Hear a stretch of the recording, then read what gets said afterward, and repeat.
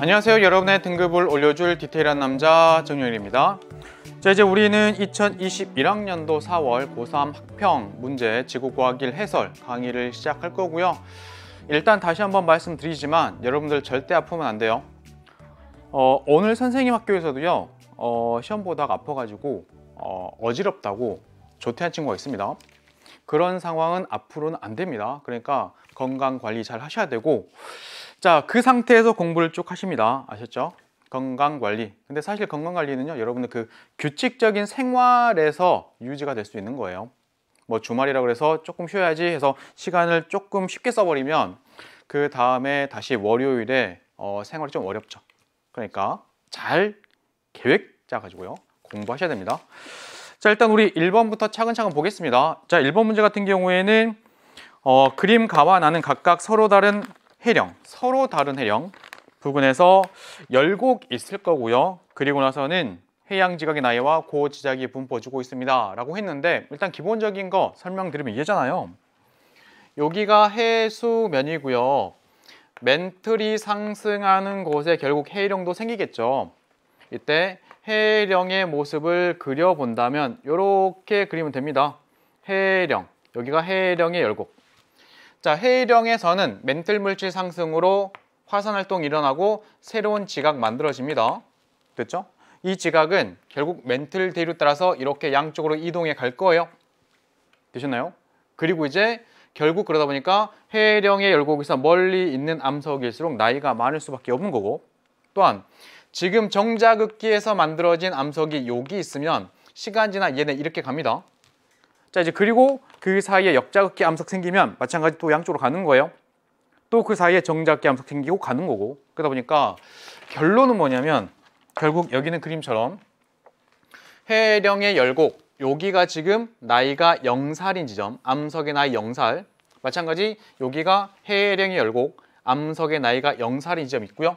그리고 여기에서 멀어짐에 따라서 멀어짐에 따라서 나이가 증가합니다. 아래쪽도 나이가 증가합니다. 증가합니다. 또한 고 지작이 역전의 줄무늬가 대칭이죠. 여기 보니까 아래 거 할게요. 여기 보니까 정자극기 정자극기 그 전에 역자극기 역자극기 그 전에 정자극기 정자극기 역자극기 역자극기 이렇게 대칭입니다. 됐죠? 이럴 수밖에 없는 거예요. 자 그런데 가하고요 나는 좀 다르네요. 보다시피 여기에서는 정자극기일 때가 이렇게 너비가 작았는데 넓죠 여기는. 됐죠? 여기랑 사실 얘가 똑같은 건데 좁은데 넓죠? 좁고 넓고 좁고 넓고. 어 너는 좁네 나는 넓은데 이렇게 나와 있습니다. 자 이때 어, 여기 보이는 것처럼 너비는 사실 다를 수가 있긴 해요. 그렇죠 너비는 다를 수 있습니다. 하지만 하지만 여기에서 정자극기가 있었으면 여기에서도 똑같은 식의 정자극기가 생기는 거예요. 그러니까 지구 자기 역전 같은 경우에는 지구 전체적인 형상이죠. 어느 바다가 지금 정자극기 상황이면 이쪽 바다도 정자극기, 이쪽이 역자극기면 이쪽도 역자극기 이렇게 똑같습니다. 그렇죠? 그러니 똑같은 시기를 짝지어 보면 요거하고 요게 같고요. 그 다음하고 그 다음 같고요. 얘하고 얘 같고요. 그 다음과 그 다음 같고요. 얘, 얘 같고 얘랑 얘가 같고 얘랑 얘가 같고 얘랑 얘가 같죠. 됐죠?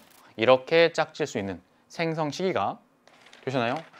자, 보겠습니다. 먼저 기억. 해양 지각의 나이는 A와 B가 같을까요? A, 얘하고 B가 같을까요? 아닙니다. B 같은 경우에는 얘랑 나이가 같아요. 됐죠? 얘보다 A는 나이가 더 많습니다. 일단 이렇게 무늬로 풀 수도 있고요. 또는 여기 보니까 어 여기까지 가는데 시간이 요 정도 걸리네. 여기까지 가는데 시간이 이 정도 걸리네. 요거 나이 보고도 구할 수 있죠. 여기 나이 많은 애, 나이 적은 애. 됐죠? 그래서 여기는 눈꾼 가지고 풀 수도 있고 정답 풀수 일단은 기억은 옳지 않습니다. 같지 않아요? 얘가 더 많아요? A가 자, 리음봅니다. B 지점에서 해양 지각이 생성될 당시 아, B 지점에 이 아이가 생성될 당시 역자극기입니다. 역자극기는 지금의 자기장의 방향과 반대였던 시기. 그렇기 때문에 거기 있는 거 니은 옳지 않고요. 자, 디귿. 해양 지각의 평균 이동 속력은 누가 빠른가요? 볼게요. 지금 가운데 보니까 거리 나와 있습니다. 보다시피 똑같은 거리, 해령의 열곡으로부터 똑같은 거리에 있는 지점이죠. 됐죠? 그런데 여기까지 가는데 얘는 시간이 많이 걸렸고요. 여기까지 가는데 시간이 얘는 조금 걸렸습니다. 그럼 얘가 더 빠르게 이동하는 상황이죠. 그래서 나의 경우가 더 빠르게 이동하였습니다. 라고 본다면 디귿, 가보다 나에서 빠르다. 디귿 말했습니다. 됐죠? 정답 그래서 2번에 디귿이고 마찬가지 속도도 구할 수가 있어요. 나이차, 시간분의 요거 거리 하면 나옵니다. 되셨고 정답 2번 자 이제 2번 봅니다.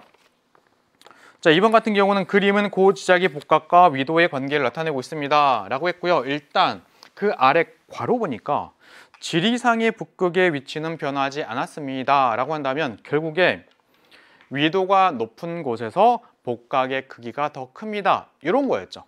그리고 또한 문제 조건에서 정자극기라고 합니다. 그럼 플러스면 북반구, 마이너스 남반구 이렇게 볼 수가 있는 상황. 자 보겠습니다. 먼저 기억 A가 생성될 당시 A라고 하는 암석에 복각이 이렇게 남아 있습니다. 정자극기 상황이고 플러스니까 북반구, 북반구. 그래서 기억 맞았고요. 자 B가 생성될 당시 위도와 C가 생성될 당시 위도. 그러니까 B라고 하는 애가 생성될 당시에 자, 이 지역은 복각이 플러스 18도인 위치에 있었다는 얘기죠. 됐죠? 그러면 봅니다. 복각이 플러스 18도면 여기가 20이니까 한 거의 여기 가깝겠네요. 20에. 그리고 올라갑니다. 올라가고 올라가고 올라가고 올라가서 올라가서 그리고 쭉 갑니다. 이렇게. 됐나요? 위도 대략 어딘지 나오겠죠. 자, 그리고 이제 여기 37 마이너스입니다. 마이너스 37. 여기 어디가 되겠네요. 올라갑니다. 올라갑니다. 올라갑니다. 쭉 어디가 되겠죠. 이때 요 차이가 요 차이가 지금 몇 도? 55도일까요? 55도는 안 되죠. 요게. 그렇기 때문에 거기 있는 거 니은 옳지 않고요. 기억은 맞았고 니은은 옳지 않고 자, 그 다음에 이제 디귿. D가 생성된 이후 결국 현재까지 남쪽으로 갔을까요? 봅니다. 일단 여기가 과거. 얘가 만들 당시 그 지역의 복각이 이곳인 곳에서 D가 만들어졌습니다. 그러면 찾는 거잖아요. 어, 마이너스 48도 대충 여기서 올라가서 위도 찍고 그 다음에 시간 지나서 C가 만들어질 때 복각이 여기입니다. 됐죠?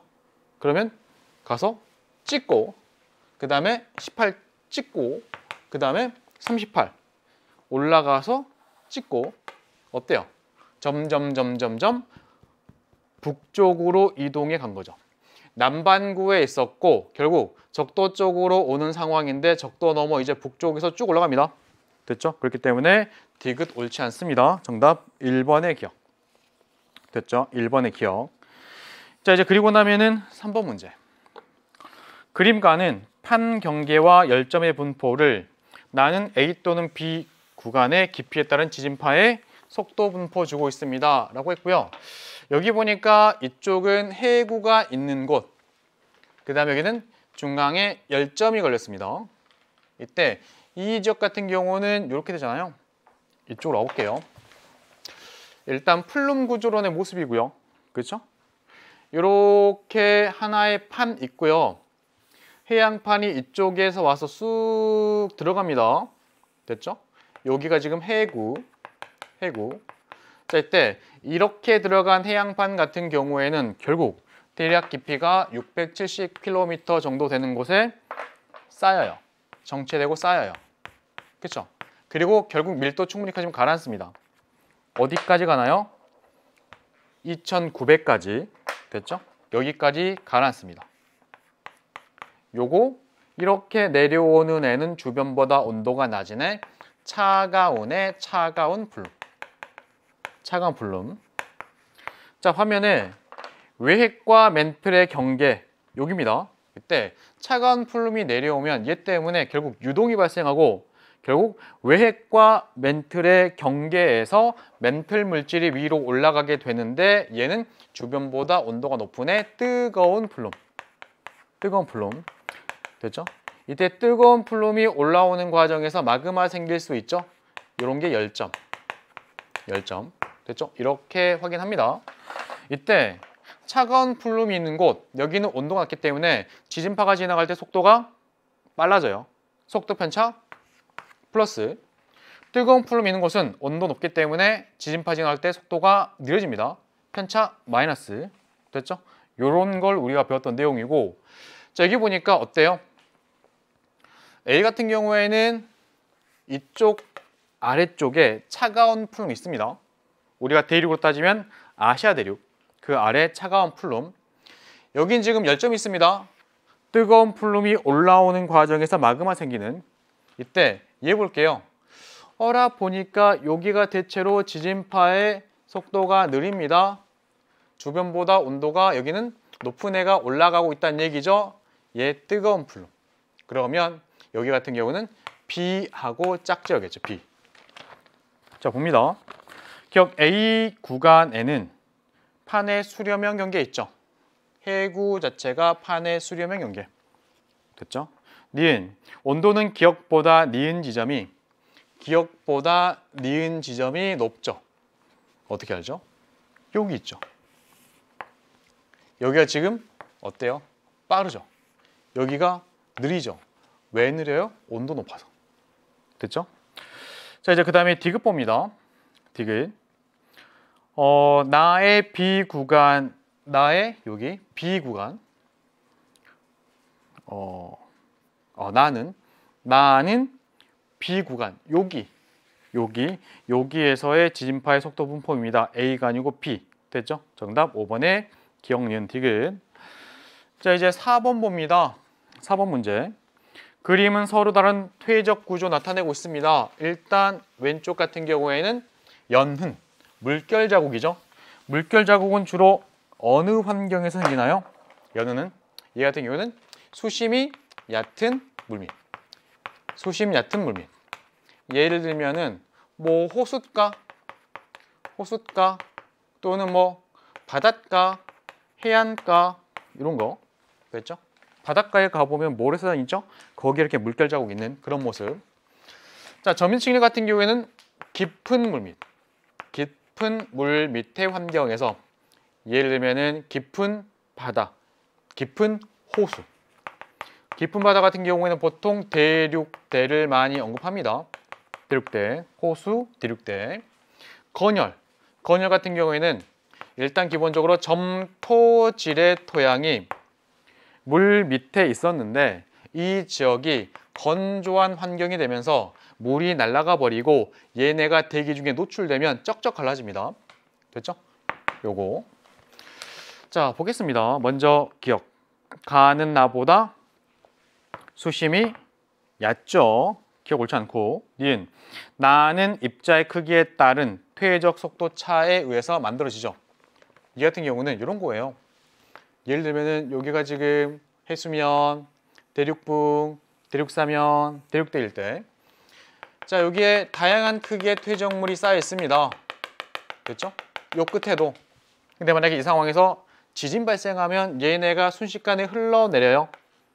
됐죠? 다양한 크기의 퇴적물이 쑥 흘러내립니다. 참고로 이렇게 흐르는 흐름을 저탁류라고 하고 여기서 만들어진 암석을 저탁암이라고 하는데 결국 얘네가 쑥 내려오면 여기에 다양한 크기의 퇴적물이 공급되는 거죠. 됐죠? 그런데요. 입자 큰 애가 먼저 가라앉아요. 그리고 중간이네. 그 다음에 작은 애. 끝! 이렇게. 됐죠? 보셨나요? 자, 그렇기 때문에 여기 있는 게 지금 점이층의 모습을 보여주는 거고 니은 말했습니다. 디귿. 다는 형성되는 동안 건조한 환경에 노출된 시기가 있었죠. 됐죠? 보셔야 되고 퇴적 구조 하나 더 있죠.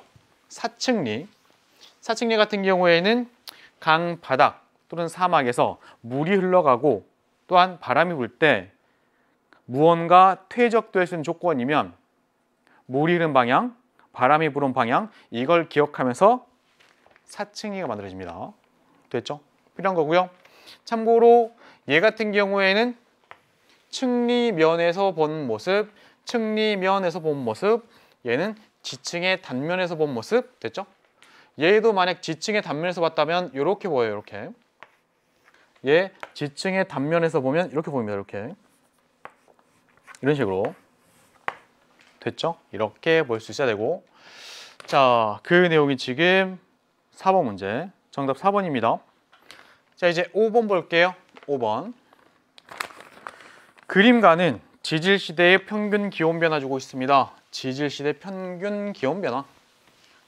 자, 이제 그리고 나서는 묻고 있고요. 여기 보니까 일단 5억 4천만 년 전 고생대 시작, 얘 고생대. 2억 5천만 년 전 중생대 시작, 얘 중생대. 6,600만 년전얘 신생대 시작, 얘 신생대. 이렇게 짝 짓습니다. 이때 기후에 있어서 특징은 가장 중요한 게 어, 중생대 때는 대체로 온난했고 빙하기가 없었던 시기. 됐죠? 이런 거고 신생대 전반부에는 대체로 온난했으나 온도가 떨어졌고 빙하기, 간빙이 반복됩니다. 라고 볼 수 있는 현재 온도가 여기래요. 실제 현재는 빙하기하고 빙하기 사이죠. 간빙, 간빙기, 간빙인데 자 그리고 이제 요거는 기후 이쪽 봅니다. 얘는 암모나이트, 암모나이트.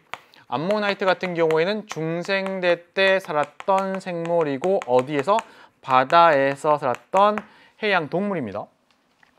이제 볼게요. 기역. A 시기 말에 판게아가 형성되었을까요? 고생대 말 판게아 형성. 그렇죠? 기역 맞았고요. 어, 참고로 우리 초대륙 하나 더 외워야 돼요. 고생대 말 형성된 건 판게아. 그리고 선 캄브리아 시대 때 만들어진 판게 아니 어, 초대륙 중에 하나.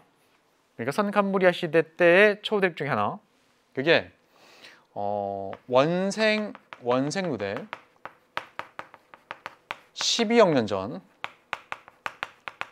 이름 로디니아 로디니아 됐죠?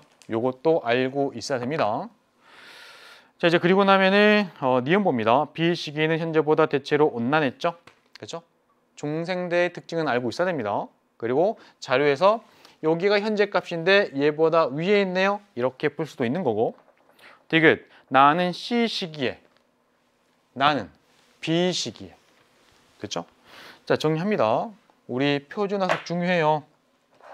표준화석 고생대 표준화석 중생대 표준화석 신생대 표준화석 고생대 삼엽충 필석 갑주어 푸줄리나 방추충이라고 하는 중생대 공룡 암모나이트 신생대 화폐석 화폐석 그리고 메머드 이렇게 볼 수 있습니다.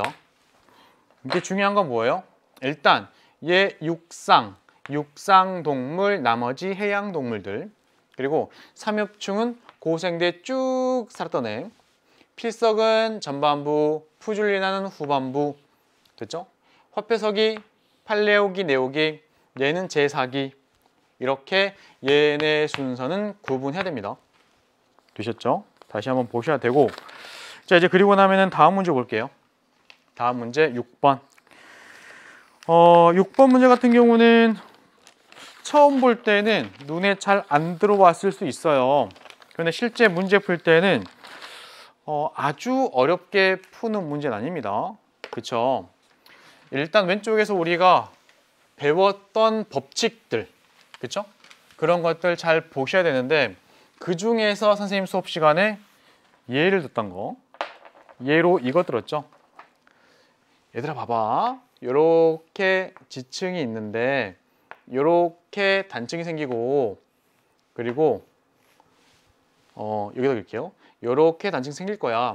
얘가 1번이고 얘가 2번이거든. 1번, 2번. 이때 만약에 1번 단층 있고 2번 단층 생긴 때하고 2번부터 생기고 1번 생겼을 때가 모양이 좀 다르다? 어떻게 해요? 일단 이 지역에 1번 이렇게 단층이 생깁니다. 그런데 2번 단층이 이제 이렇게 생겼대요. 그리고 양쪽으로 이렇게 어긋난다고 한다면 어, 반대로 일까요? 반대로 이렇게 어긋난다고 한다면 와, 얘 기존에 있었던 선이 이렇게 올라갑니다. 와, 기존에 있었던 선 얘가 이쪽 이동 이동합니다. 이렇게. 그 모양 어때요? 어, 먼저 있었던 요 선들이 나중에 생긴 선 때문에 어, 멀리 떨어져 버렸네. 됐죠? 좀 깨끗하게 이렇게 이렇게 됩니다. 먼저 있었던 애가 나중 생긴 애 때문에 이렇게 갈라져 버리는 거예요. 그럼 얘는 결국 어떻게 돼요? 얘는 얘 같은 경우에는 보세요. 이렇게 있었던 선이 먼저고 나중에 얘 때문에 어긋나면 얘 너 가자 뭐 이쪽으로 가자 너도 가자 이쪽으로 가자 이렇게 한다고 이렇게 먼저 있었던 애가 나중 생긴 애 때문에 어긋난다고요. 절단 관계의 법칙 이런 거였고 자 이제 그 다음에 요것도 자 이 지역에 이렇게 관입 발생합니다. 관입 그 다음에 이 지역에 이렇게 단층 생긴대요. 단층 만약 겹쳐 그리면 이렇게 단층 생긴대요. 라고 했을 때 어, 순서상 관입이 먼저고 단층인 경우하고 단층이 먼저고 관입인 경우 달라요. 일단 관입이 먼저면 이렇게 화성암이 생기고요. 됐죠? 그리고 나서 단층이면 툭 끊어지면 결국 여기 있던 애 움직입니다. 예를 들면은 요 아래쪽으로 이렇게 위에 있는 애 움직입니다. 예를 들면 얘도 마찬가지 이렇게 위쪽으로 어때요? 기존에 있었던 관입 요 암석이 단층선 때문에 이렇게 멀어진 거죠. 그럼 반대는요? 이런 겁니다. 이렇게 먼저 단층이 있었는데 관입이 있었대. 그 다음 관입이면 이렇게 마그마 생기면서 이 선 먹어버려요. 이렇게 됐죠? 요게 필요하다고요. 그럼 볼게요. 알 수 있는 거 보세요. 어, 여기 보니까 여기 B라고 하는 애 화성암인데 어라 어긋났네? B가 있고 나서 단층. 그쵸? 그 다음에 어 여기 보니까 단층 있는데 A가 단층선 먹어버렸네? 단층 있고 나서 A. 가능하죠? 또한 여기 보니까 C, D가 있는데 화성암 이렇게 그 주변에 C와 D의 일부가 변성작용 받았습니다. 아, C, D가 있는 상태에서 B가 생겼구나. 그리고 B 때문에 E는 변성작용 받지 않았죠. 아, 그러면 B 다음에 E가 생겼네. 라고 해볼 수 있다고. 자, 이제 연결 들어갑니다. 아마도 이 지역은 C가 쌓여 있고 D가 쌓여 있는 상황에서 B가 이렇게 마그마가 뚫었나 봐요. 그리고 나서 E가 쌓이고 나서 쌓이고 나서 단층. 단층. 됐죠? 단층? 단층은 무슨 단층? 정단층. 단층면에 위쪽 상반 주저앉았습니다. 정단층. 그리고 나서 A. 됐죠? C, T, B, E 정단층 A. 이렇게 연결시킬 수가 있는. 자 이제 그리고 나면은 그 다음 내용이 뭐냐면 화성암 A하고 B에는 방사성 원소 X가 처음량의 50% 25% 50%면 2분의 1, 25%는 4분의 1, 반감기 한 번, 반감기 두 번, 반감기는 1억. 얘 반감기 한 번, 나이 1억.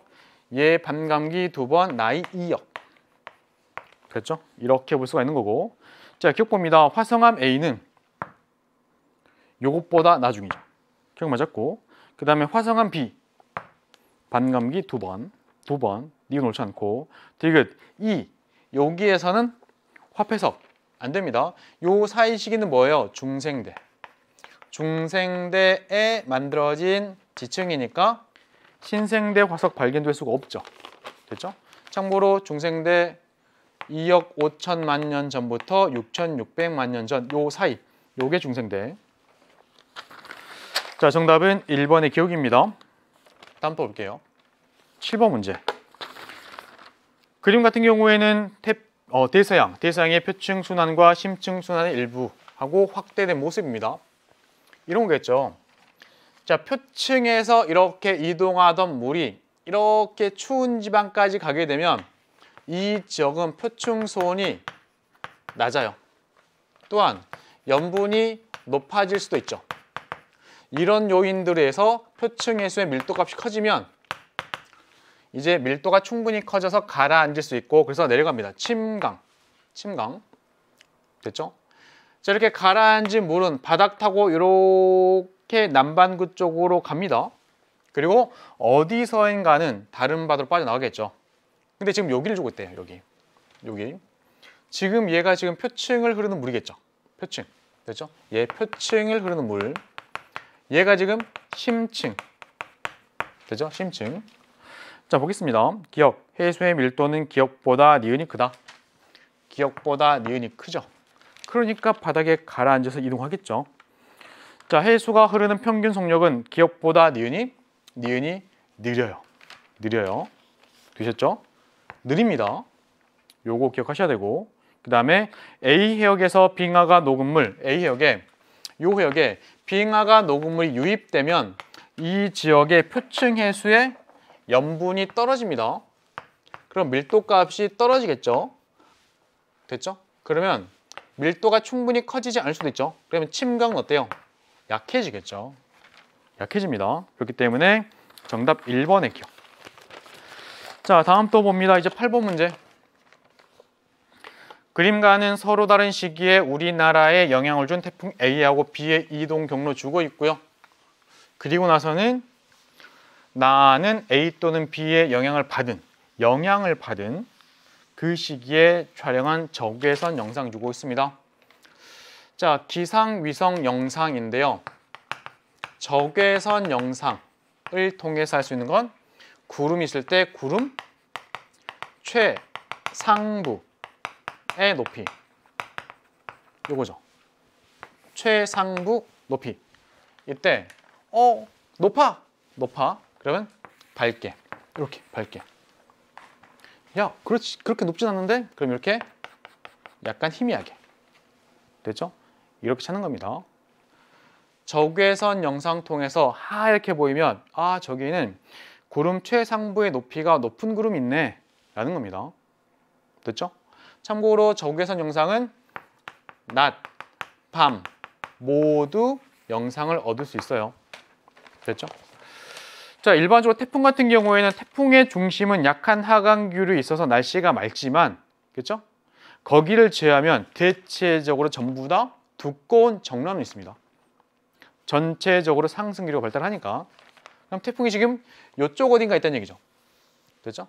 그러니 여기에서는 B가 아니고 A 상황. A 상황. 여기는 별로 구름이 그렇게 많지 않습니다. 됐죠? 여기에 비하면. 자, 보겠습니다. 먼저 기억 A를 어, A는 육지를 지나는 동안에 중심 기압이 어떻게 될까요? 태풍이 차가운 바다 또는 육지에 상륙하면 어때요? 일단 육지 같은 경우 상륙해 버리면 수증기 공급이 차단되죠. 됐죠? 또한 지표의 마찰이 커지죠. 그러니 태풍의 세력이 약해집니다.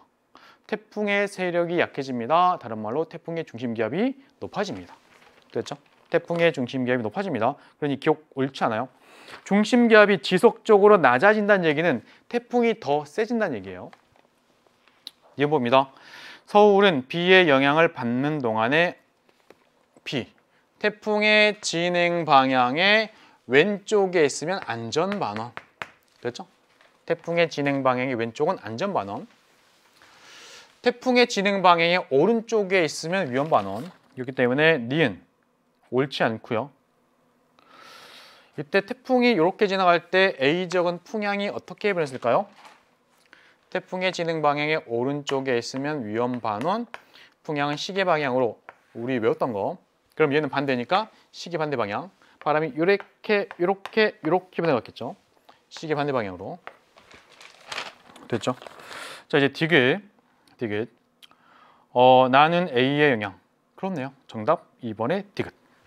되셨고 이제 9번 봅니다. 9번. 그림은 우리나라에 영향을 주는 황사의 발원지와 이동 경로에 대한 자료를 보고 나서 학생들이 대화를 나누고 있습니다. 대화 이렇게 나누고 있네요. 됐죠? 자 일단 어, 황사 같은 경우에는 발원지에 강한 바람과 상승 기류가 있으면 입자가 붕 떠요. 그리고 상공에 편서풍 타고 옵니다. 그리고 우리나라에 떨어지면 황사 발생. 됐죠? 황사가 심할 수 있는. 자 그러다 보니까 황사는 발원지에 상승 기류, 그러니까 저기압이 발달할 때 이때 주로 발생합니다. 반면 우리나라의 황사 피해는 우리나라의 고기압이 위치할 때 황사 피해가 더 크죠. 왜요? 하강 기류 있다는 얘기니까 붕 떠서 왔는데 하강 기류 쑥 내려옵니다. 요거. 자 이제 그리고 나면은 발원지에서 생성된 모래먼지가 우리나라로 이동할 때 상공에 편서풍 타고 옵니다. 됐죠? 그 다음에 황사는 결국 땅하고 바람과의 관계죠. 그죠? 땅에 있던 모래먼지가 붕 뜨는 거니까 바람과 상승기를 타고 됐죠? 그렇기 때문에 정답은 4번의 BC. BC. 어, 참고로 여기에서 일단 우리나라 주로 언제? 황사는 봄철에 봄철에 발생하고요. 또한 발원지 입장에서 이쪽 지역이 어, 일단 강한 바람 상승 기류 그리고 토양 입자가 미세한 게 많을 때 그리고 식물 군락 형성도 있지 않을 때 건조할 때 황사가 잘 발생해요. 이런 것도 같이 한번 복습하시고 자 이제 그리고 나면 이제 10번 갑니다. 어, 10번 같은 경우는 그냥 단순히 개념 확인하는 문제죠. 봅니다. 크로시오 해류 그 다음에 이렇게 황해 난류 대만 난류 어, 요게 스시마 난류 대만 난류 그리고 요게 동한 난류 동한 동한 그 다음에 여기가 연해주 한류, 북한 한류. 어, 둘이 만났습니다. 난류, 한류가 만났습니다. 조경수역. 조경수역은 물고기 많이 잡히고 여기에 만약에 등손선 그리면 등손선의 간격이 촘촘하면 돼요. 됐죠? 등손선 간격 촘촘합니다. 조경수역에서. 자, 격 A는 북한 한류 맞았고요. 동해에서는 A하고 B가 만나서 조경수역 만들어지죠. 그 다음에 북태평양 해류는 아니 쿠로쇼 크로쇼, 예. 크로쇼 해류는 요거잖아요. 지도를 그리면 적도, 여기 30도, 여기가 60도인 상황에서 북동무역풍, 북적도 해류, 편서풍, 북태평양 해류 이쪽에 대륙 대륙 가던 물이 갈라집니다. 가던 물이 갈라집니다. 이때 여기가 아열대 순환. 아열대 순환. 여기가 태평양이면 태평양, 북태평양의 아열대 순환. 됐죠? 북쪽도 쿠로쇼. 아열대 순환의 하나입니다. 얘. 됐죠? 북태평양 아열대 순환 일부. 됐죠? 북쪽도 쿠로쇼, 북태평양, 캘리포니아. 됐죠? 이렇게 볼 수가 있는 정답 5번의 기억 니은 디귿이고요. 어, 이제 그 다음 봅니다. 이제 11번 문제. 11번 문제 같은 경우에도 어, 문제는 어렵지 않아요. 대신에 공부하실 때 요것도 한번 해 보셔야 됩니다. 예를 들면은 8월에 8월에 표층선이 24점 얼마, 24, 22, 20. 야, 표층선이 여기는 많이 낮아지고 있네. 됐죠? 여기 같은 경우는 어, 크게 크게 많이 달라지진 않네. 됐죠? 이걸 가지고 혼합층의 두께도 따져봐야 되는 거고요. 됐죠? 바람이 강한 정도도 따져봐야 되는 거고요. 됐죠? 자, 생각보다 여기에는 기출문제 많습니다. 그리고 선생님이 수능 개념 그런 데 가 보면 문제들 몇 개 올려드렸습니다. 한번 풀어보시면 좋을 것 같아요. 자료 해석하는 거 연습하셔야 되고 자 이제 그리고 나면은 볼게요.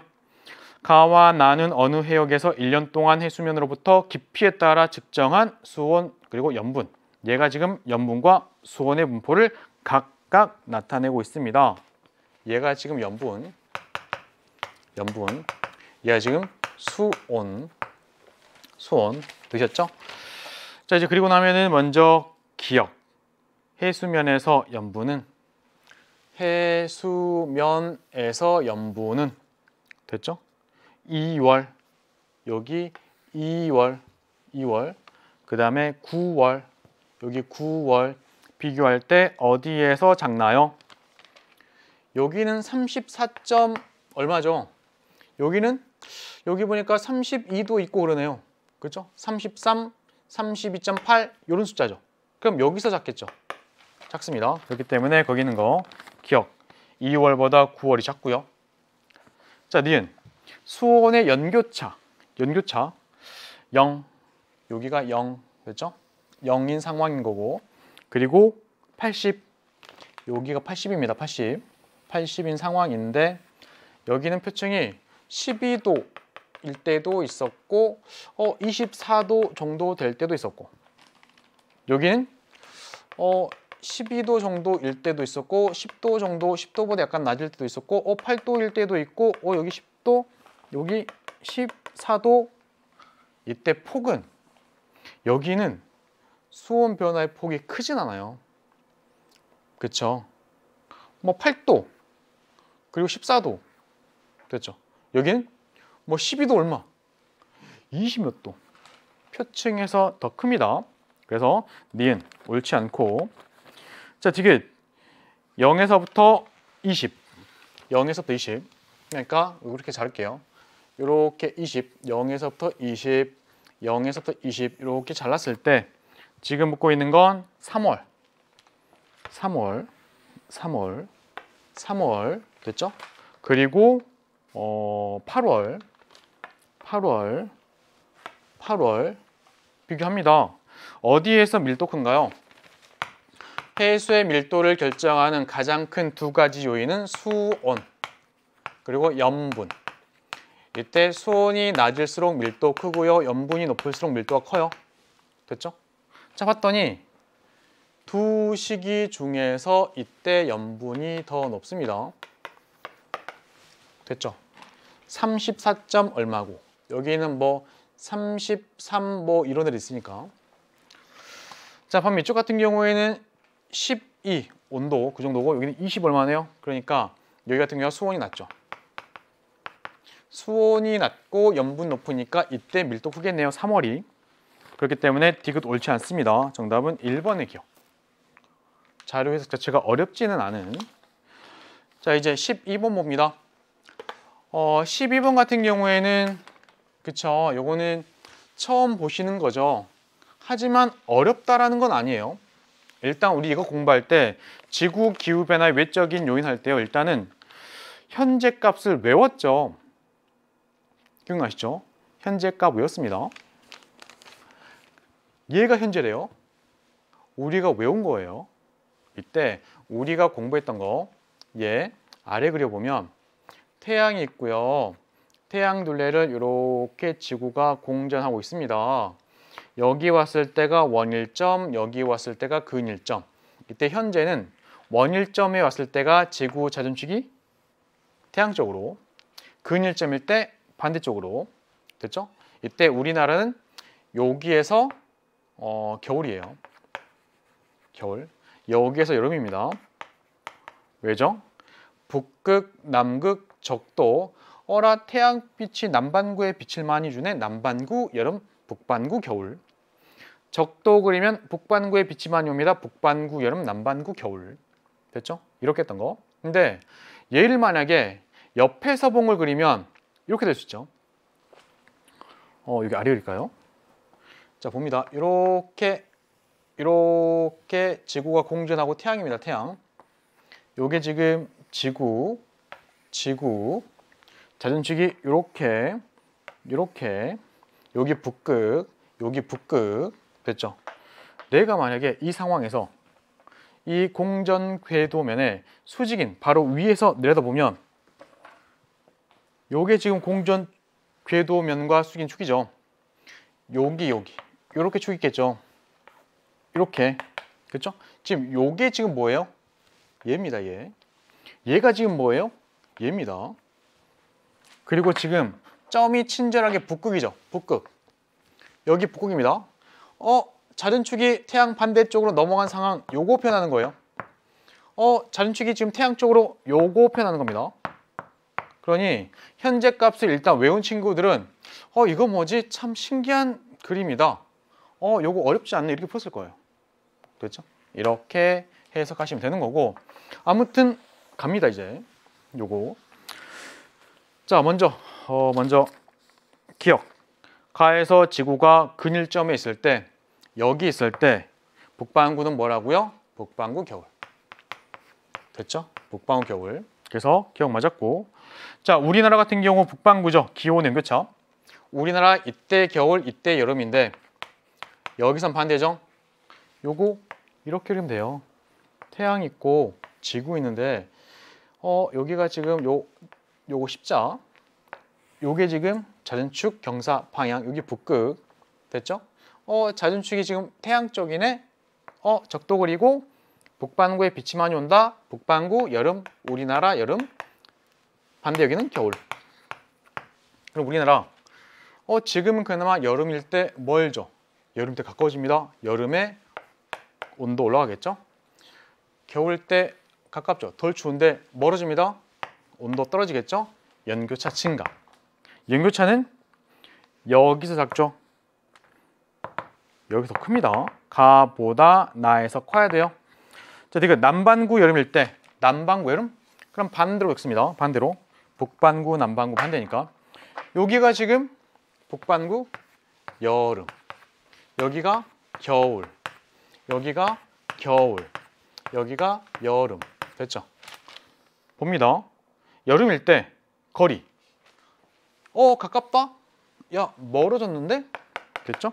가보다 나에서 그 거리가 깁니다. 정답 3번이 기억되게 되셨죠? 자 이제 다음 봅니다. 어, 13번 문제 같은 경우에는 엘리뇨, 라니냐 관련된 문제고요. 일단은 수능 특강 자료실에 가 보셨죠? 그렇죠? 엘리뇨 관련되는 거 물어볼 수 있는 모든 걸 전부 다 적어드렸어요. 그렇죠? 뭐 바람, 용승, 해류, 뭐 기압, 수온의 편차, 되죠? 해수면 높이 편차, 수온 약증의 기울기, 따뜻한 해충의 두께 다 적었습니다. 그거 보고 오시면 금방 풀려요. 일단 근데 사실은 여기도 마찬가지인데 평상시를 정확히 이해하고 나서 그리고 이제 평상시를 반대로 엘니뇨를 딱 잡고 나면 선생님이 적어둔 그 엘니뇨 발생 시의 특징들을 전부 다 이해할 수 있어요. 이것도 마찬가지 외우는 게 아닙니다. 평상시를 이해하고 평상시를 반대로 바꿨는데 바꿨을 때 이렇게 되는구나 이렇게 이해하면 여기도 공부가 쉬워요. 엘리뇨를 아니냐. 그리고 여기에 추가로 이제 어 평상시 이쪽은 어때요? 고기압인데 엘리뇨 때는 반대니까 기압이 평소보다 떨어지겠는데? 그렇죠? 라니아 때는 평소보다 기압이 더 올라가겠는데? 이렇게 풀면 보세요. 어 이쪽 일단 이쪽이 2니까 뭐예요? 서태평양 이지만 서입니다. 서태평양 여기고 반면 이쪽 뭐예요? 이쪽은 W지만 동태평양 동태평양 이때 평상시 이쪽에 기압이 높아요. 그런데 기압이 떨어졌습니다. 평상시의 반대죠. 그럼 너 엘리뇨식인데 엘리뇨? 엘리뇨? 이렇게 잡는다고요. 이렇게 잡고 나면은 물어보는 거 전부 다 풀려요. 됐죠? 요거 다시 한번 보셔야 될 것 같고 어 그때 그림 딱 두 개를 했습니다. 세계지도 한번 그렸고 그 다음에 단면 단면 이쪽이 서태평양 이쪽이 동태평양 평상시 그렇죠? 엘니뇨 발생하면은 완만해지고 그 다음에 이렇게 되고 됐죠? 따뜻한 해충 이런 거 전부 다 지금 또 설명드리면 한 10분, 20분 걸려요. 그렇기 때문에 한번 보시, 보고 오셔야 됩니다. 보고 오시면 아 이렇게 공부하는 게 좋구나 라는 걸 느끼게 될 거고 자 이 상황 자 A시기 어때요? 여기는 엘니뇨 평상시 동태평양은 표층손이 낮아요. 그렇죠? 그래서 위에는 공기 온도 낮습니다. 온도 낮은 공기 무거워요. 내려옵니다. 무슨 기류? 하강 기류. 어, 하강 기류네? 아, 고기압이구나. 평상시 고기압. 그죠? 그런데 평상시보다 고기압인데 평상시보다 기압이 낮아졌네요. 평상시의 반대죠. 엘리뇨. 평상시보다 기압이 더 올라갑니다. 고기압인데 더 올라가요? 라니냐. 이렇게 푸는 겁니다. 보셨죠? 자, 평상시 쪽은 기압이 낮아요. 그런데 어 올라갔습니다. 평상시에 반대죠. 엘니뇨 이렇게 푸는 겁니다. 자 기억 엘니뇨 시기고요. 엘니뇨 시기니까 평상시보다 남적도 해류 약하죠. 그죠? 그리고 어 니은 맞았고 그 다음에 엘니뇨니까 이쪽이 용승 어때요? 용승 약합니다. 됐죠? 정답 2번의 니은. 어, 참고로 엘니뇨 라냐는요 기출 문제가 엄청 많아요. 그리고 작년 같은 경우도 정말 어려운 자료 가지고 해석하는 게 있었습니다. 이때 그 자료 해석은 여러분이 기출 문제를 보면서 하시면 되는 거고 연습하면 되는 거고 이때 중요한 건 내가 이 자료가 엘니뇨인 걸 알았어요. 그러면 여기에 관해서 쭉쭉쭉쭉쭉쭉 어떤 보기가 나오든 풀 수 있게끔 준비하셔야 됩니다. 어디 있다고요? 선생님 수능강 자료실에 올라가 있습니다. 됐죠? 쭉 한번 보시고 자 정답 2번의 니은 자 다음 또 봅니다. 표는 주계열성 아 주계열성이래요. 가하고 나가 주계열성이래요. 그런데 한글로 주지 않아도 우리는 딱 보고 주계열성 합니다. 어떻게 알죠? 여기 보니까 V라고 적혀 있고 우리가 O라고 읽는 요게 주계열성. 주계열성. 일단 우리가 알고 있는 광도 계급에서 초고성, 거성, 주계열성, 백색외성. 됐죠? 요건 알아야 되는 거고. 자 이때 앞에 보니까 A 제로형 별이고 주계열성 M4형 별이고 주계열성. 이때 여기 붙어 있는 거 분광형 순서대로 고음부터 O, B, A, F, G, K, M 됐죠? 요거 청색, 청백색, 백색 그 다음에 요거 황백색, 황색, 주황색, 적색 되셨고 이때 다시 각각을 쪼갭니다. 뭐 B0부터 B9까지 다 쪼개요. 됐죠? 태양은 G2형별 표면 온도가 5800K 됐죠? 그 다음에 A0형별 A0형별 얘는 표면 온도가 1000K 이때 B 빼기 V 색지수가 얘는 0 이쪽은 마이너스 이쪽은 플러스. 됐죠? A0 기준으로. 그 다음에 식 하나 더. 람다 맥스는 표면 온도분의 1 사실 이걸 말고 더 있나요? 없죠. 이제 그리고 나면 광도는 4파이 R의 제곱 시그마 T의 사승 단위 시간의 단위 면적에서 나오는 에너지. 단위 시간의 전체 면적에서 나오는 에너지. 얘 광도. 이때 광도와 관련된 거는 절대 등급. 광도가 크다? 절대 등급이 작다. 됐죠? 이제 주기열성. HR도 상에서 이쪽이 광도가 커지는 방향. 다른 말로 절대 등급이 작아지는 방향 이쪽이 표면 온도 이쪽이 고온 이쪽이 저온 이때 여기가 주기열성 이라고 할 때 주기열성 중에서 이쪽으로 갈수록 질량이 커요. 질량 큽니다. 질량 큰 주기열성이 내부의 온도도 더 높아요. 내부 온도. 당연히 표면의 온도도 높겠죠. 그럼 반지름도 크겠죠. 반지름 큽니다 반지름 얘 크고 얘 크고 얘 크고. 둘 다 크니까 광도도 크고. 반면에 다른 말로는 절대 등급은 광도 큰 애가 작습니다. 그 다음에 진화 속도가 빨라요. 진화 속도가 빨라요. 그래서 수명은 짧은. 됐죠? 어 커진 애들. 어 작아진 애들. 됐죠? 수명 짧습니다 자 봅니다. 어, 봅니다. 자 먼저 거기에서 가고 난데요. 둘 중에 얘가 표면 온도 높고 광도가 더 큽니다. 절대 등급 작은 게 광도 크다 그랬죠. 그래서 만약 찍어보면 여기에 가가 찍히면 여기에 나가 찍히는 거예요. 가나. 그러면 가가 나보다 큰 거, 큰 거.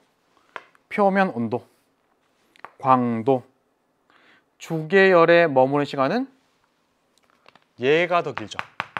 얘가 진화 속도가 느려요. 수명이 더 길죠. 얘가 진화 빠르게 하죠. 수명 짧죠. 주기활성에 빨리 오고 빨리 도망가는 애. 얘. 그렇기 때문에 정답 3번의 기억 니은 표면 온도 광도는 얘가 더 큽니다. 주기열에 머무는 시간이 얘가 더 짧아요. 또는 자료에서 야 둘 중에 표면 온도 얘가 더 높네. A 제로니까 둘 중에 광도는 얘가 더 크네. 절대 등급 광도 큰 애가 절대 등급 작습니다. 어 절대 등급 더 작은데 광도가 큰가 보다. 정답 3번의 기억 니은. 자 이제 15번 봅니다. 15번. 그림가는 어느 별의 진화 경로 나타내고 있고 그 다음에 나는 이 별의 진화 과정 나타내고 있습니다. 일단 기본적으로 기본적으로 이쪽에서 왔습니다. 왔습니다. 짠! 뭐가 됐죠? 주계 열성이 되었습니다. B 위치 주계열성 위치. 자, 지로 도망갑니다. 주계를 떠났죠. 이쪽이 거성에 해당하는 위치. 그런데 표면도가 낮네요. 적색 거성 쪽으로 넘어와서 적색 거성이 되었을 때 나중에 행성상 성운과 결국 남습니다. 백색 외성. 백색 외성. 됐죠? 표면 온도가 엄청 높은데 어라 광도는 크지가 않네? 왜요? 작으니까. 됐죠? 자, 보겠습니다. 일단은 먼저 기억. 별의 평균 밀도는 A보다 B일 때. A보다 B일 때. 작죠? A일 때 크죠? 됐죠? 그래서 기억만 했습니다.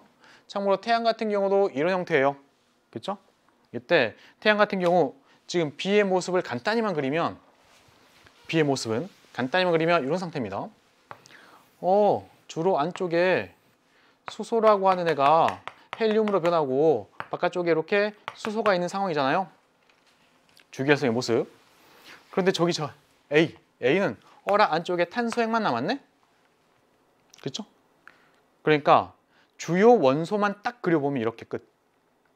물론 여기에요. 뭐 탄소도 조금 있고 막 있어요. 그런데 주요 원소만 표현하면 이렇게 얘는 이렇게 탄소 핵 밀도 이해가 크겠죠. 사실 이렇게 간단히 그릴 수 있는 건 여러분이 별의 진화 과정을 정확히 공부했을 때 가능합니다. 그렇죠? 진화 과정. 어, 마찬가지 선생님 수강에서 여러분한테 과제 내줬죠.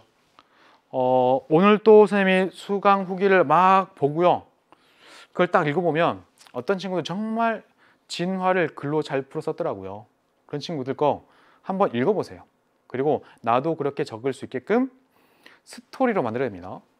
이 상태에서 이렇게까지 가는 걸. 됐죠? 요거. 자, 아무튼 일단은 기억 맞았고요. 자, 니은 C일 때. C일 때. 자, 얘 같은 경우는 주기활성을 떠난 그 이후잖아요. 그쵸? 자, 기억은 뭐예요? 원시별이 중력 수축에 의해서 안쪽의 온도가 올라가다가 결국 중심부의 온도가 얼마까지? 천만 K까지 올라가면 뭐가 발생해요? 수소 핵융합 발생하는데 그때는 주계열성.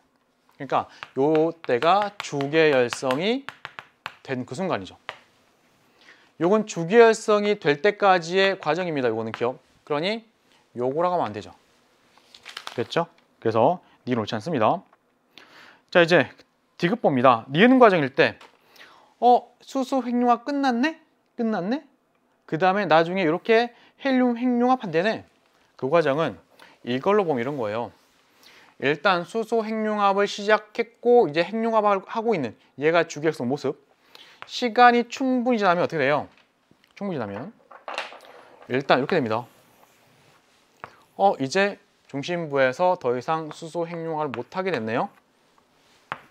이렇게 됐죠? 그럼 이때부터는 주기획성 아닙니다. 이게 지금 중심액에서 수소 핵융합 종료된 상태. 자 이제 그리고 나 어떻게 돼요? 헬륨 핵이 수축합니다. 헬륨 핵 수축. 뭐라고요? 헬륨 으로 이루어진 핵이 수축해요. 자, 그 과정에서 헬륨핵의 온도가 올라가니까 헬륨핵 주변에 있던 수소, 이 수소들이 핵융합하면서 에너지를 발생시킵니다. 그렇죠? 그 에너지가 바깥쪽에 전달되면 얘 갑자기 후 커져요. 이렇게 커집니다. 이게 지금 적색 거성으로 진화하는 단계. 그리고 나서 결국 헬륨액 수축하는 과정에서 헬륨액 내부의 온도가 충분히 올라가면 요 안쪽막을 봤을 때 여기서 드, 드디어 이렇게 헬륨 핵 융합이 일어나요. 헬륨 핵, 요 핵이죠. 핵. 핵이 수축하는 과정에서 안쪽에 온도가 올라가다 보면 결국 헬륨 핵 안쪽에서 핵융합이 일어납니다. 됐죠? 그러니 지금 헬륨 핵 수축하는 단계 요거 요 단계는 헬륨 핵 수축 단계죠. 그러면 헬륨 핵, 그러니까 별의 중심 핵은 정역학 평형 상태는 아니에요. 수축하고 있으니까. 됐죠? 정답 그래서 1번의 기억. 자, 다음 또 봅니다. 이제 16번. 자, 이제 마지막 페이지 16번 봅니다. 16번. 자, 그림은 어, 별의 중심부 온도에 따른 수소 핵융합의 에너지 생산량을 주고 있고요. 그 다음에 이쪽은 주계열성의 내부 구조. 딱 보고 아 주계열성의 내부 구조네. 그리고 어, 왼쪽 같은 경우에는 핵 있고 복사층, 대류층. 아 얘는 질량이 태양 질량의 두 배보다 작구나. 어 대류핵 복사층? 그럼 얘는 질량이 태양 질량의 두 배보다 큰 주기성이겠구나. 질량 이해가 더 크네요. 사실 크기도 더 크겠죠. 됐죠? 자 그리고 이제 여기 보니까 어 수소 핵융합 중에 P 아 이쪽이 PP죠. PP 반응, CNO 순환 반응. 이때 요 온도가 얼마였죠? 1800만 K. 여기를 경계로 얘 이하일 때는 PP 반응이 더 우세. 이상이면 둘 중에 CNO가 더 우세. 됐죠? 이런 거였고 태양 같은 경우에는 중간 정도 예를 들면 1500만 K입니다. 그래서 태양 같은 경우에는 PP 반응이 더 우세. 하지만 CNO 순환 반응이 없는 건 아니고 얘도 있습니다. 결국 태양의 중심 핵에도 탄소, 산소, 질소는 있다는 얘기죠. 됐죠? 자, 봅니다. 기억, 중심부의 온도가 기억인 주기활성의 중심부에서는 CNO 순환 반응보다 PP 반응. 그냥 자료 보면 되는 거예요. 어, 얘가 더 위에 있는데? 얘가 지금 PP인데? 됐죠? 기억 맞았고. 님, 별의 질량은 A보다 B가 큽니다. 맞았고. A의 중심부 온도는 예. 니은일까요? 니은? 문제 조건에서 A와 B의 중심부 온도는 각각 기억과 니은 중 하나라 그랬으니까 얘가 지금 질량이 작은 애 질량이 작은 주기활성이 내부의 온도가 더 낮죠. 얘가 기억, 얘가 니은, 기억 니은. 그러면 A는 A는 기억. 정답 3번의 기억 니은. 보셨죠? 자 이제 17번 봅니다. 어, 17번 같은 경우는 이쪽에 한번 그려봐야 될 것 같아요. 어, 이 문제가 나오면 선생님이 항상 그리는 그림 아시죠? 어, 깔끔한 그림. 이제 봅니다. 이렇게 여기 중심별 있고요. 그 옆에 외계 행성 있습니다. 둘은 공통 질량 중심으로 같이 돕니다. 같이 돕니다. 됐죠? 이때 관측자가 이쪽에서 바라보고 있는 상황이라고 한다면 어, 일단 별이 이 순간 이 순간에 이렇게 움직일 때는 시선 방향의 속도가 0이니까 편입값이 안 나타나요. 이쪽도 편입값이 안 나타나요. 여기 시선 속도가 0입니다. 여기도 시선 속도가 0입니다. 자, 그런데 이 두 순간 빼면 빼면 어, 이때는 별이 나한테 접근합니다. 접근합니다. 접근하면서 별빛에 있어서 청색 편이 나타납니다. 이때 접근할 때 속도 값은 보통 부호 마이너스 쓰고요. 마이너스. 자, 반대쪽 이렇게 갈 때 별이 나에게 멀어집니다. 후퇴합니다. 후퇴. 후퇴할 때 속도는 플러스 뭐 쓰고요. 이때 멀어지니까 적색 편이 나타납니다. 됐죠? 자, 속도로 따지면 시선 속도 0, 마이너스 0, 플러스 0. 그리고 그 속도, 부호 빼버리고 그 속도에 빠르게 절대값만 쓰면 이때 가장 빠르게, 이때 가장 빠르게, 빠르게 잡으면 빠르게, 여기는 후퇴. 뭐 예를 들면 여기가 0이고요. 여기가 0이고요. 여기 뭐 마이너스 10, 뭐 여기 플러스 10. 0에서부터 마이너스 1, 마이너스 2, 마이너스 4, 어, 마이너스 10, 다시 마이너스, 구- 마이너스 9, 8, 그러니까 마이너스, 아, 0부터, 0부터 마이너스 1, 마이너스 2, 마이너스 3, 마이너스 10, 마이너스 9, 마이너스 8, 마이너스 7, 0. 0부터 1, 2, 3, 4, 10, 9, 8, 7, 6, 5, 4, 3, 2, 1, 0 이렇게 됐죠? 요 과정이에요. 그러면 볼게요. 봅니다. 어 여기 보니까 0, 0. 그래서 멀어지고 있다. 가장 빠르게 멀어진 게 T1. 이제 멀어지는 속도가 줄면서 다시 0이 됐네요. T2. 그럼 여기다가 T1, T2. T1 너 어디니? T1. 여기가 T1이죠. 얘, 얘 T1. T1. T1. 됐죠? 여기 T2. T2. 됐죠? 이제 마이너스입니다. 보다시피 마이너스. 어, 여기쯤 왔을 때 절대값 가장 가장 큰 마이너스 T3. 여기가 지금 T3. T3. 다시 0됩니다. T4. 이렇게 됐죠? 1, 2, 3, 4. 이 상황. 자, 먼저 기억 봅니다. T1일 때 멀어지고 있네요. 적색편이. 됐죠? 그 다음에 지구로부터 외계 행성. 외계 행성. 자, 외계 행성 찍어 볼게요. 외계 행성. 여기 별 있을 때 외계 행성 여기 있습니다. 외계 행성이 T1일 때 위치. 외계 행성 별 여기 있을 때 외계 행성 여기 있습니다. T2 위치. 별 여기서 외계 행성 여기 있습니다. T3 위치. 별하고 여기가 공통장 중심이면 그 건너편에 T4일 때 외계 행성. 그럼 볼게요. 외계 행성까지의 거리는 T2, T3. 얘보다 얘에서 멀죠. 됐죠? 이렇게 볼 수 있는 거고.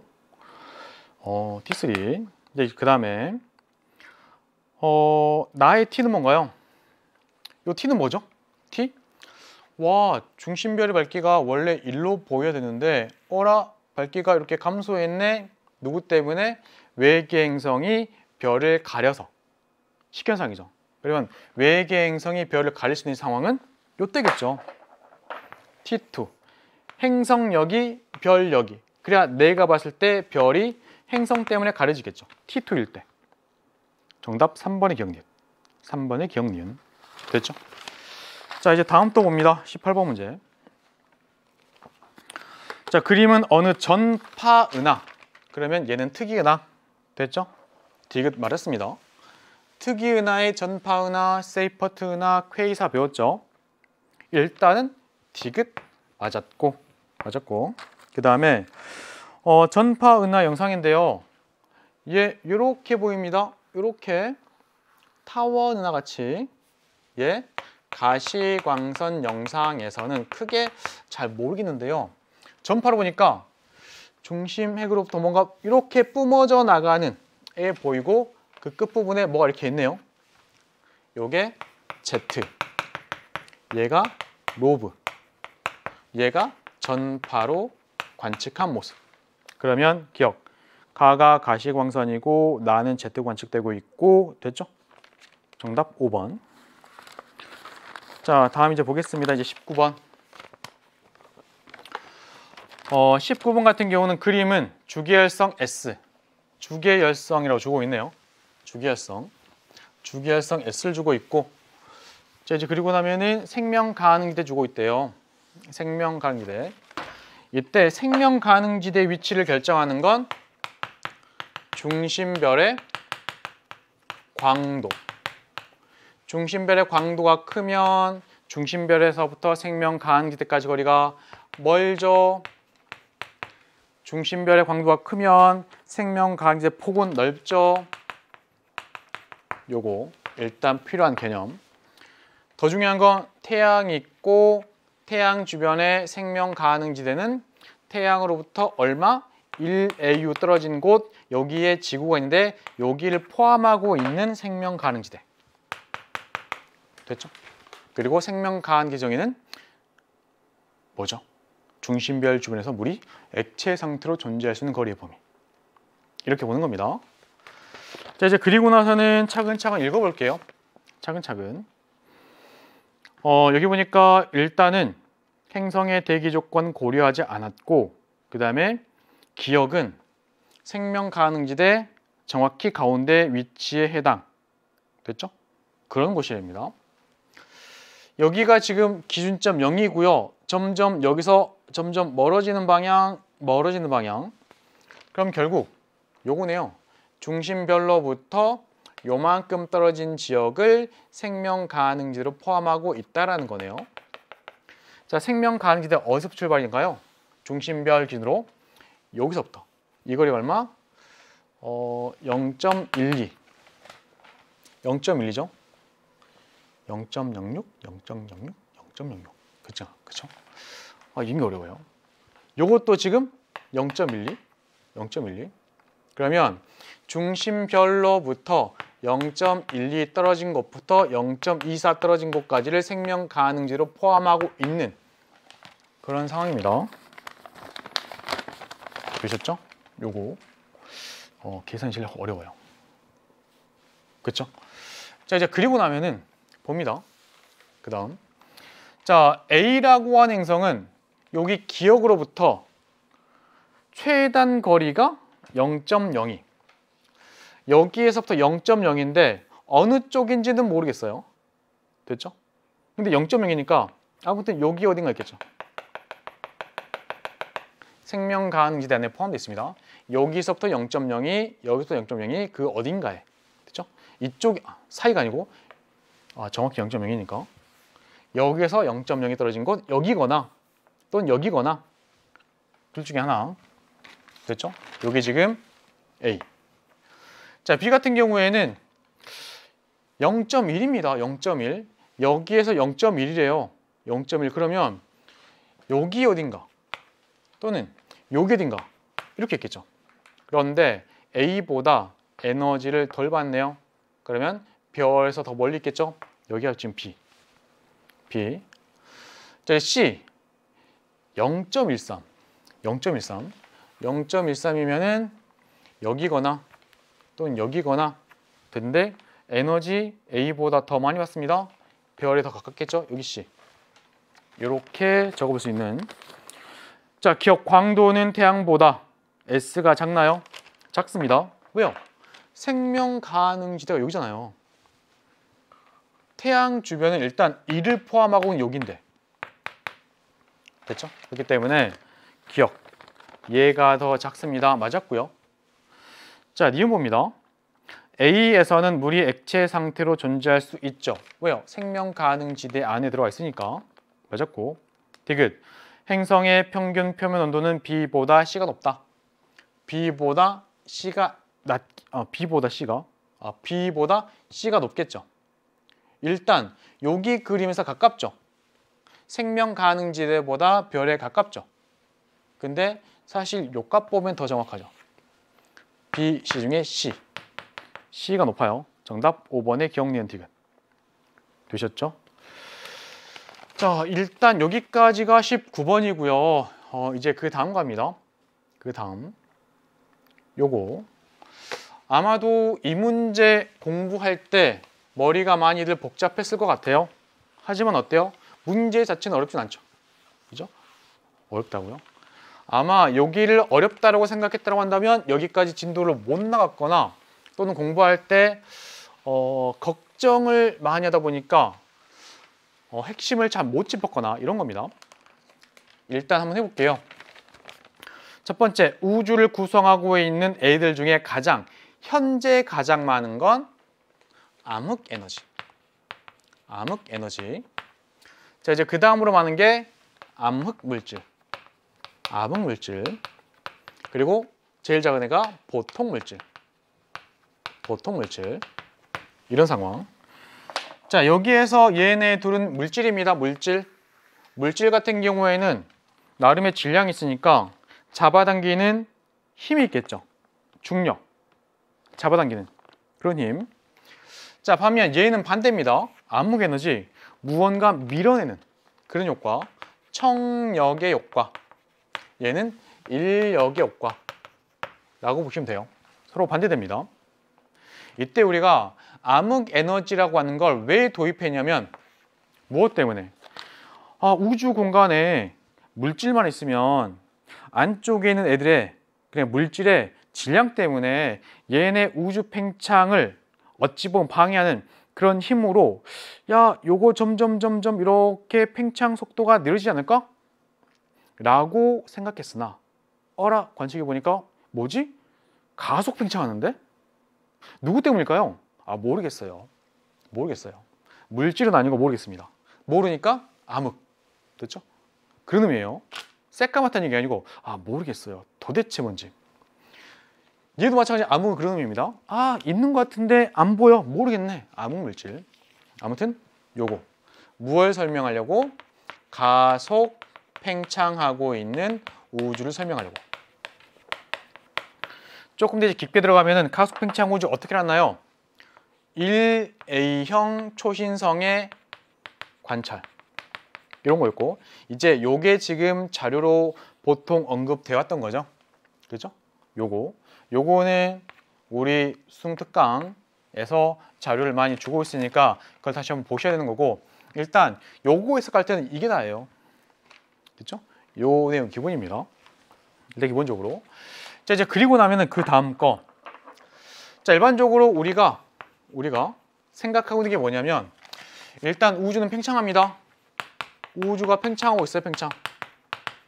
우주 팽창합니다. 됐죠? 팽창하는 모습. 이런 모습이고 자 이때 이 우주라고 하는 애 있죠. 그 우주의 미래를 생각했을 때 그 모형 중에서요. 열린 우주 있고요. 열린 우주. 됐죠? 그 다음에 닫힌 우주. 닫힌 우주. 그리고 평탄 우주가 있습니다. 평탄 우주. 됐죠? 평탄 우주. 이때 얘 열린 우주, 닫힌 우주, 평탄 우주. 자, 우주의 밀도와 임계 밀도를 비교해서 우주 밀도, 임계 밀도, 우주 밀도, 임계 밀도 비교해서 같으면 평탄 우주. 야, 우주의 밀도가 더 큰데 닫힌 우주. 작은데 열린 우주. 이때 우리 필요한 건 뭐예요? 아, 우리가 관측해 보니까 평탄하고 평탄한 모습이네. 평탄 우주. 됐죠? 이때 우주의 밀도는 첫 번째 보통 물질, 암흑 물질, 암흑 에너지를 전부 다 더한 게 우주의 밀도입니다. 요거 간단히 보통 물질, 암흑 물질, 물질의 밀도. 그 다음에 암흑 에너지, 암흑 에너지의 밀도. 이렇게 하는 거고 얘가요 다 더한 게 우주의 밀도인데요. 얘가 지금 임계 밀도랑 같아요. 요게 현대 우주론이에요. 현대 지금 현대 현재 우리 우주 설명하는 어 우주의 밀도랑 임계 밀도랑 같아. 아 평탄하네. 자 그런데 암흑 에너지가 섞여 있어. 암흑 에너지가 좀 큰데? 아 그러면 가속 팽창하고 있는 상태이면서 평탄한 우주네. 요럼 끝나요. 이게 메인입니다. 중간중간에 여기에 조금 몇 가지가 더 들어가죠. 하지만 얘가 메인이에요. 됐죠? 자 이제 그리고 여기 봅니다. 어 전부 다 고려했네요. 그쵸? 이게 지금 우리가 생각하는 우주의 모습이고 자 빅뱅이 있고 나서 실제 우리는 급팽창 그리고 감속팽창 지금은 가속팽창 이걸 설명하는 게 지금 A입니다. A. 어 속도가 느려집니다. 기울기가 접선의 기울기가 작아지고 있죠. 어 그런데 커집니다. 가속 팽창. 현재 가속 팽창. 요게 지금 우리가 생각하는 A. 우주의 모형. 암흑 에너지 빼면 이렇대요. 이렇게 암흑 에너지 뺐을 때 둘은 차이가 있죠. 됐죠? 어, 여기서 마찬가지 설명할 건 엄청 많아요. 그런데 우리 수능 특강 다시 한번 보시기 바라고 어, 이때 현재 상황입니다. 현 상황. 이때 현재를 기준으로 A의 모형에서는 빅뱅이 이때죠. 이때부터 현재까지 이게 우주의 나이겠죠. 그렇죠? B는 여기서 시작이죠, 우주가. 나이가 요만큼겠죠. 그러면 우주의 나이는 얘한테 더 크다라고 생각하면 돼요. 얘 모형에서. 자, 봅니다. 기억. 별과 행성은 기억인가요? 별 보이나요? 보입니다. 행성 보이나요? 보입니다. 보이는 애들? 보통 물질. 전자기파로 관측 안 되는 애가 암흑 물질. 됐죠? 보통 물질. 보통 물질 중에 가장 많은 건 수소. 이런 것도 한번 보셔야 되고. 자, 이제 그리고 나면은 일단 기억 옳지 않습니다. 니은. 대폭발 이후 현재까지 걸린 시간은 A보다 B가 짧다. A보다 B가 짧죠. 니은 맞았고. 디귿. A에서 A에서 지금 이 모형에서 우주를 구성하는 요소 중 디귿이 차지하는 비율은 언제가 더 많았을까요? 현재랑 과거 중에 현재가 비율이 더 크죠? 더 크죠? 가속 팽창 중인 상황인데 요걸 조금 더 명확히 한다면 예전에 봤던 자료 중에 요걸 기억하면 돼요. 기억할 거. 어? 요거 밀도. 밀도의 변화. 어, 이렇게 줄었네. 어, 이렇게 줄었네. 밀도 비율이 아, 밀도가 밀도가 이렇게 줄었네. 우주가 팽창하는 과정에서 밀도가 줄었네요. 얘네는 물질. 물질. 위에는 게 암흑 물질, 아래는 게 보통 물질. 반면에 밀도가 그냥 그대로예요. 이게 암흑 에너지. 됐죠? 그러니 이렇게 오는 과정에서 물질의 그 밀도 값은 줄어요. 됐죠? 암흑 에너지 값은 일정합니다. 그러면 시간이 지남에 따라서 비율 자체가 커지는 건 얘겠죠. 또는 물질과 아니 물질 물질의 총량은 그대로입니다. 부피가 팽창하면서 밀도는 줄지만 일단 총량 그대로 총량. 그냥 간단히 총량 그대로. 하지만 암흑 에너지 총량은 늘어나요. 그렇죠?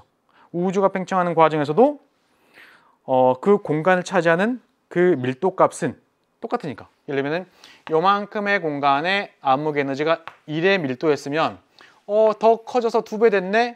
그럼 요만큼 또 1만큼을 채운다고요. 우주가 커지면 결국 암흑 에너지 총량이 늘어납니다.